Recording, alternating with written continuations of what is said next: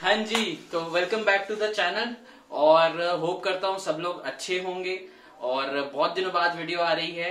आ, ये जैसे आपने टाइटल में देख लिया है मैंने एक बाइक परचेज करी है जो कि लॉकडाउन से पहले परचेज करी थी। सॉरी मेरे पास उसकी कोई वीडियोस नहीं है बट हाँ मेरे पास फोटोग्राफ्स हैं।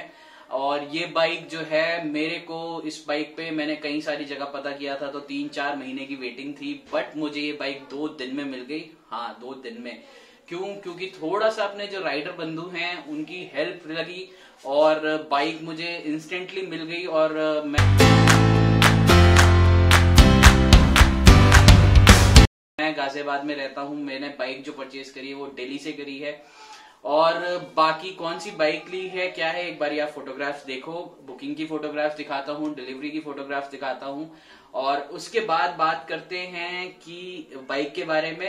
आई एम श्योर इस बाइक के सभी लोग फ़ैन हैं और जब से बाइक आई है, तब से बहुत धमाल मचाया हुआ है इस बाइक ने और मैं भी उसका फ़ैन रहा हूँ हमेशा से जब से लॉन्च हुई है बाइक तो पहले फोटोग्राफ देखो, फिर बाइक के बारे में बात करते हैं, कौन सा मॉडल है और मुझे क्या है कितने की पड़ी वो सब मैं बताता हूँ।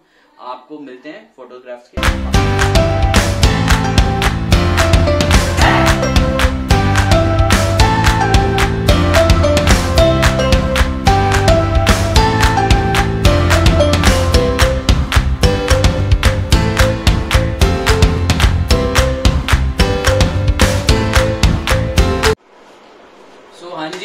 कैसी लगी फोटोग्राफ्स होप करता हूँ आपको अच्छी लगी हूँ। हाँ तो अब आते मुद्दे पे। मैंने ये बाइक क्यों परचेज करी? सो so, बेसिकली मैं शुरू करता हूँ। क्योंकि मैं जैसे आपको पता है टूरिंग बहुत करता हूँ तो मेरे को एक टूरिंग के लिए बाइक चाहिए थी।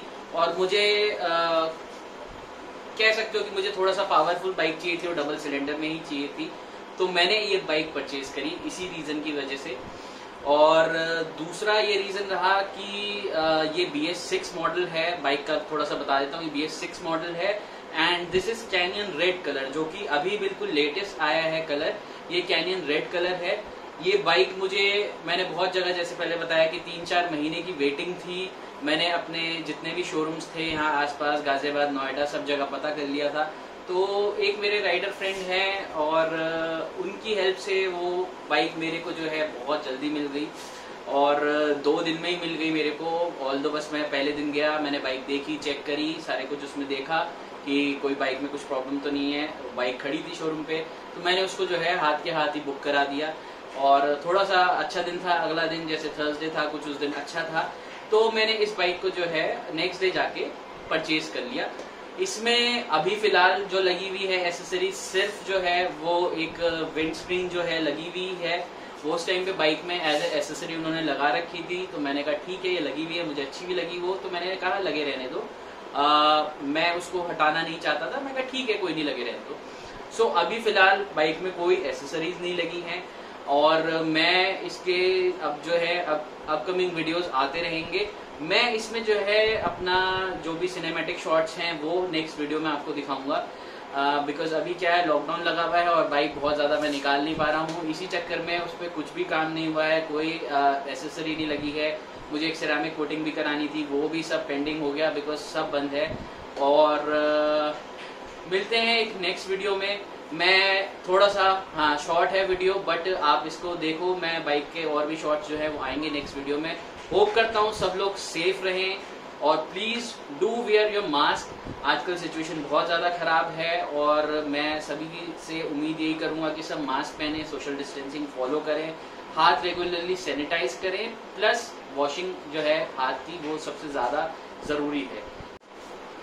सो so, बीच में थोड़ा सा हाँ दो तीन पॉइंट्स मिस कर गया। ये मेरे को बाइक कितने की पड़ी? मैंने वो नहीं बताया आपको। मेरे को बाइक जो पड़ी वो three lakh twenty six thousand पड़ी तीन लाख छब्बीस हज़ार की। उसमें मुझे थोड़ा सा कुछ एडिशनल भी पे करना पड़ा बिकॉज़ मैंने दिल्ली से बाइक परचेज करी है। तो ट्रांसफ़र वगैरह में जो थोड़ा सा एक्स्ट्रा जाता है बस वो गया है मेरा। और नंबर आ चुका है बट एज यूजल लॉकडाउन है तो कोई अभी मेरे को उस पर नंबर प्लेट वगैरह कुछ नहीं है। मेरे पास सिर्फ़ डिजिटल आरसी है। और बाकी आगे की वीडियोस इसमें आती रहेंगी और टूरिंग की भी सब इसी पे ही आएँगी बाइक पे। और मिलते हैं आपको नेक्स्ट वीडियो में।